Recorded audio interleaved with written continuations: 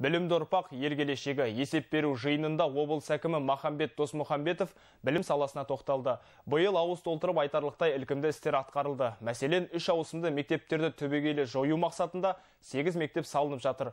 Бұдан бөлек екі білім беру мекемесіне 430 орындық жалғама құрылысы жүргізілуде.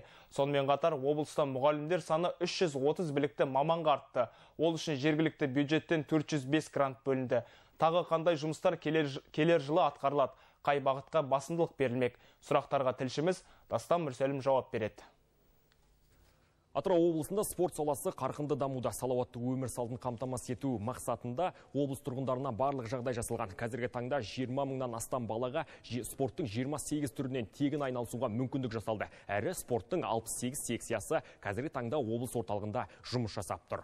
Балалардың футбол секцияларына қосымша мыңға жуық бала тартылды. Спортшыларымыздың ағымдағы жылғы жетістіктері атыраулықтар үшін үлкен мәртебе. Атап айтқанда Токио Паралимпиада ойындарына қатысқан 8 спортшымыздың үшеуі күміс жүлдеге ие болды.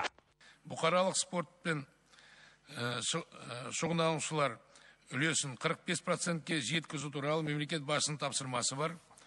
Соның аясында алдағы 4 жылда 28 спорт кешенін, 25 воркаут жаттығу алаңын салу жоспарлануда биыл олимпиадалық емес спорт түрлерін дамыту үшін жоғары спорт шеберлігі мектебі ашылды онда спорттың 13 түрі бойынша спортшылар дайындалады Спорт саласынан бөлек мұнайлы Астанада білім беру саласында да бірқатар жетістіктер бар. Атап айтқанда осы бағытта ағымдағы жылы екі мектептің құрылысы аяқталды. Жаңадан 8 мектептің құрылысы жүргізілуде. Бір мектепті жыл соңына дейін аяқтау күтілуде.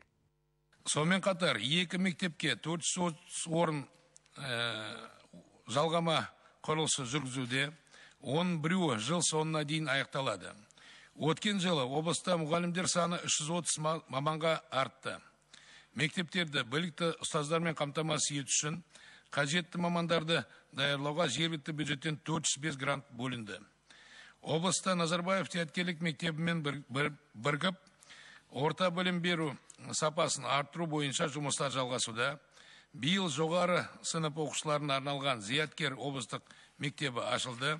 Өзі халықаралық тәжірибелерге негізделген бұл мектепте ауыл оқушылары білім алады. Облыс тұрғындарының жайлы өмір сүруі үшін бірқатар шаралар жалғасын табуда. Солардың бірі ауылдық елді мекендерді газ және сумен қамтамасыз ету. Бүгінде өңіріміздегі ауыл тұрғындарының 99,4 проценті газбен қамтылған.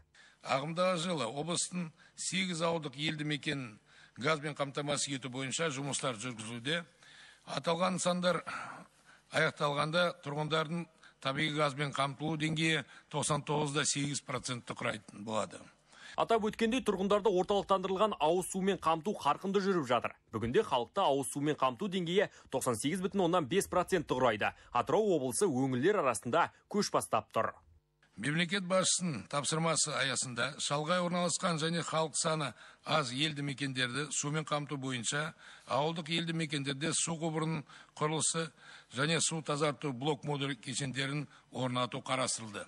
2021-2025 жылдарға арналған Атырау облысының әлеуметтік экономикалық дамуының кешенді жоспарына тұрғындарды сумен үздіксіз қамту бойынша жобалар енгізілді. Қазіргі уақытта жергілікті бюджет есебінен жобалар жасақталды. Оларды жүзеге асыру арқылы 181 мыңнан астам тұрғын сумен қамтылады.